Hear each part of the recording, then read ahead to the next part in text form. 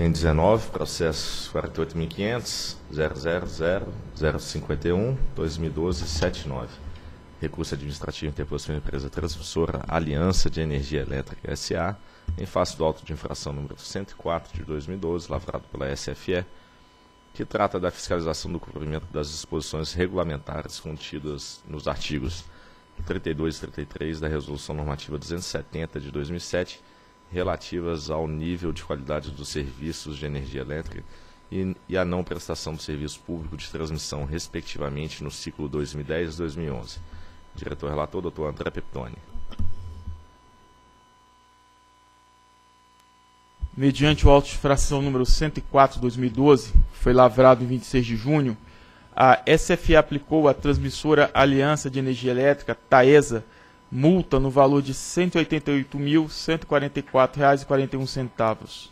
A penalidade, senhores diretores, foi aplicada em razão da constatação de infrações cometidas no ciclo 2010-2011 relativas ao nível de qualidade do serviço, ou seja, o número de outros desligamentos da função de transmissão ultrapassou o correspondente padrão de frequência de outros desligamentos, conforme estabelecido na tabela 1 do anexo à Resolução Normativa 270 de 2007, e pelo fato da não prestação do serviço público de transmissão, ou seja, os limites de indisponibilidades foram ultrapassados e a função transmissão continuou indisponível ou com restrição operativa temporária em período subsequente. A tabela 1 apresenta o um resumo das penalidades aplicadas pelo auto de infração. Então, pela não conformidade 1, valor de multa de R$ 36.240 e pela não conformidade 2, valor de multa de 151 mil reais aproximadamente.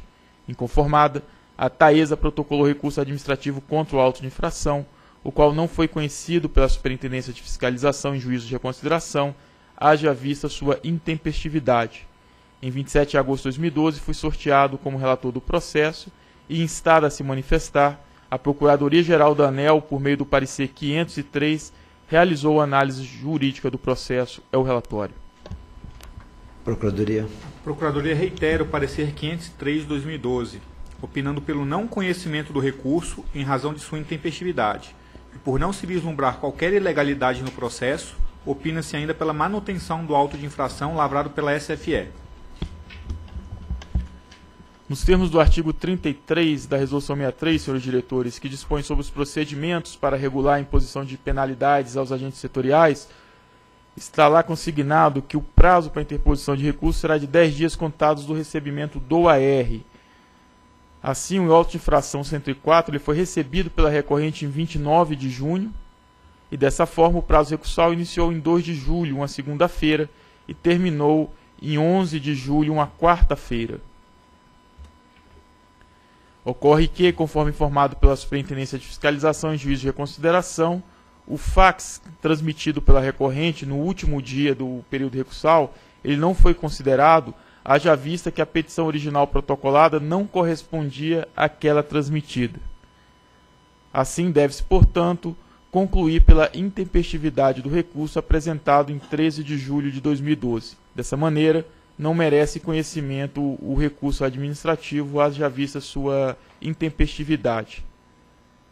A Procuradoria-Geral da ANEL, no parecer 503, como vem se manifestando em processos análogos, pronunciou-se no sentido de que a diretoria colegiada também não deveria conhecer do recurso interposto fora do prazo.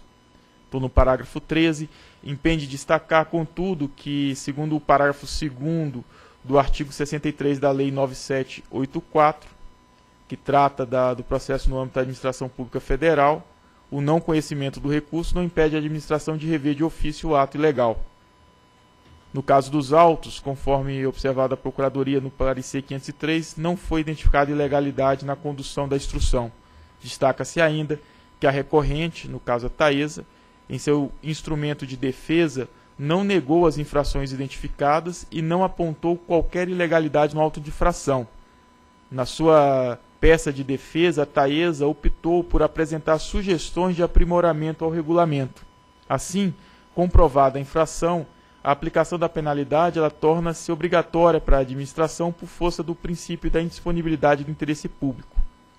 A propósito da dosimetria adotada na fixação da multa, verifica-se que correspondem respectivamente a 0,0047% e 0,0197% do faturamento da empresa, percentual esse muito aquém do máximo de 2% previsto na Resolução 63 por se tratar de uma infração de grupo 4. Não há, portanto, qualquer indício de ilegalidade e mesmo que fosse tempestiva a peça recursal, melhor sorte não assistiria ao agente, considerando a ausência de argumentos que contrapõem a ocorrência da infração. De fato, há uma discussão de tempestividade. Recebi ontem um e-mail da empresa questionando a análise que foi feita a respeito da tempestividade do recurso, mas, senhores diretores, conforme se depende da instrução processual, essa discussão se torna menor, tendo em vista que no recurso a empresa não combate, não questiona os argumentos da fiscalização e ela opta por trazer propostas de aprimoramento de nossas resoluções normativas, o que também não seria passível de ser reformada a decisão. Passo a leitura do dispositivo de voto, com apoio nessa fundamentação e no, que consta no processo 48.500.000051-2012, dígito 79, voto por não conhecer, haja vista sua intempestividade, do recurso administrativo interposto pela Taesa, mantendo na íntegra a multa aplicada pelo auto de infração número 104, que é o, corresponde ao valor de R$ 188.144,41 centavos, a serem recolhidos conforme a legislação vigente ao voto. Ok, em discussão. Em votação. Voto com o relator. Também voto com o relator. Também voto com o relator. Dito decidiu por não conhecer, devido à sua intempestividade, do recurso administrativo interposto pela Taesa, é, mantendo na íntegra a multa imposta pelo auto de infração 104-2012, lavrado pela SFE, no valor de R$ 188.144,41. Tem 20